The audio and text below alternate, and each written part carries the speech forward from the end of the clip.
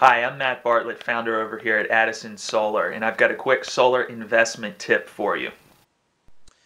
Here's a cold, hard fact.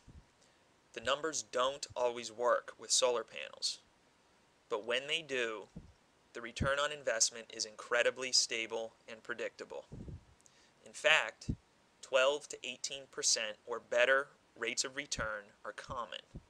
So the question is, are solar panels a good investment for you? Here are the key numbers you need to crunch. First, you need to figure out your net cost. Total system cost minus rebates, incentives, credits, depreciation value if applicable, will give you your net cost figure. With a solid net cost figure, you can easily determine rate of return, payback, total life cycle payback, added property value, cash flow, and income figures as these numbers relate to your specific situation.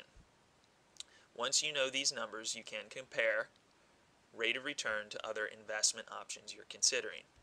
Just remember, when comparing solar to other investments, it's critical you are comparing them on an even basis. Compound annual rate of return, cash flow, property value, and so on. Solar can be a terrific investment, but only a hard look at the numbers reveals the truth. Here's a tip. Don't speculate, only work with the facts. Understanding the facts makes it easier to make a wise investment decision. The best way to get accurate numbers is to get your free solar investment analysis right now. Click on the link you see on this page.